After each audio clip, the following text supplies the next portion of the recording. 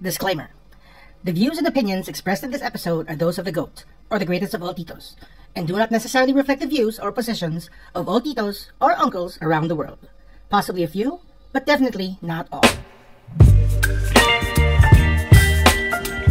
For this video, I'd like to talk a little bit about my health and how interesting it has changed and I've learned a lot and discovered many things about myself and also how it ties into the whole how I was raised thing. So for the majority of my life, of my 45 years in existence, I have been overweight. From the time I was born, I was born 10 pounds, and there was never a moment in my life where I was normal sized.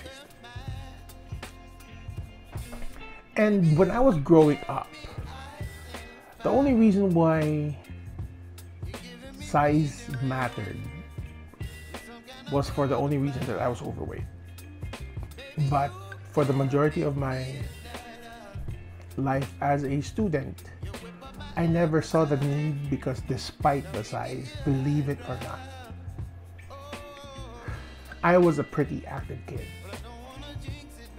And not just active, active lang, ano. I mean,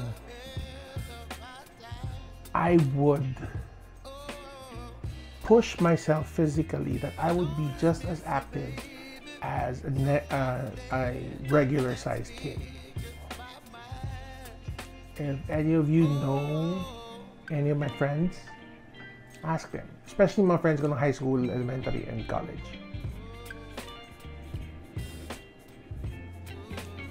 Ang kilos ko sobrang bilis. It wasn't descriptive of a fat person. Of course, now that I am an adult, now that when I start, I mean, when I started working, the, the, the nature of being a fat person finally caught up with me. Siguro narinig sa katawan ko, teka lang, kataba ka eh. So, dapat pabago ka kubilos, dapat madali kang hingalin, dapat... So, there I am. 2010, I was very fortunate enough to go on an a audition, reluctantly, mind you, to go on an audition for this uh, reality show called The Biggest Loser. It has been around for a while before it finally caught on in the Philippines and came out with like a Philippine version. Uh, and during my six month stay, I lost a whole person at around 140 pounds. That was insane. Um, so fast forward to now, I obviously gained it all back. Uh, do I regret it? Yeah, of course. I mean, it was a good life being much healthier, being able to join fun runs every week, being able to do a lot of physical activities. Do I miss it? Definitely. All more so now na whenever I get, you know, my blood work done, it's scary as shit. And this latest one convinced me that I needed to do something about it.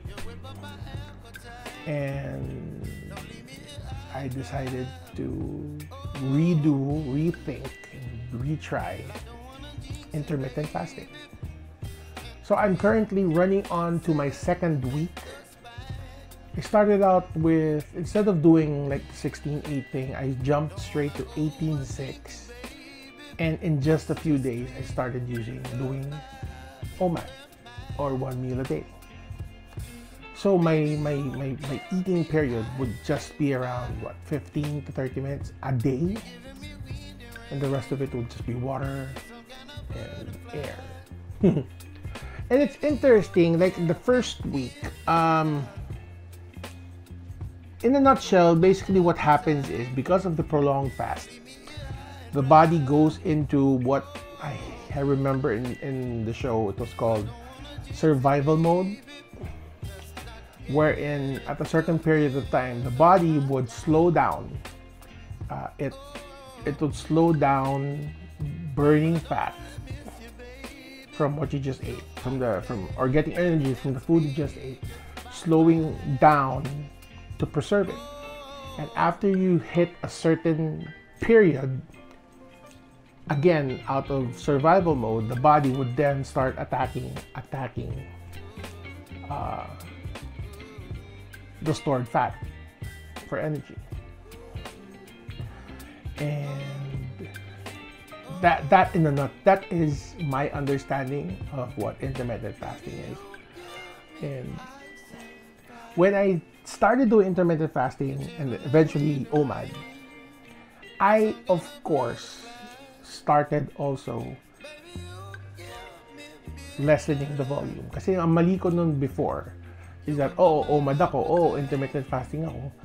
But then parang binawi ko yung kain. Like for example, instead of doing three meals, my one singular meal would be the equivalent of three meals still. So wala, hindi talaga effective. So this time around, the volume is definitely increased. That decreased rather. And, and, and, and it was a struggle at first because I just realized growing up, and this is not entire it's, not at all fault of my family. But wala kultura talaga eh. I mean when you're growing up you're told not to finish your food.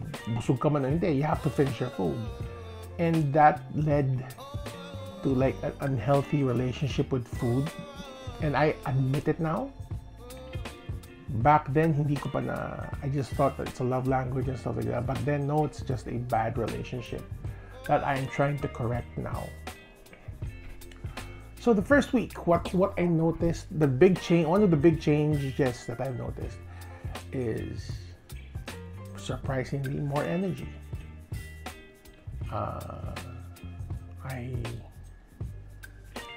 sleep lesser hours now because I don't need to burn as much to the point na aantokin ako.